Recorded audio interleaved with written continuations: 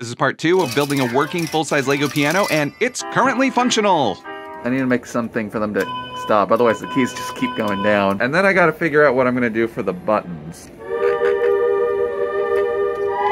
Now that I got the electronics down, I can just work on the Lego building. Even though this keyboard is just a rectangle, the challenge here is how to make that rectangle not a boring shape. So I'm adding little details where I need them to be and putting in color. That's, that's the real challenge, is not making this a monolith of brick.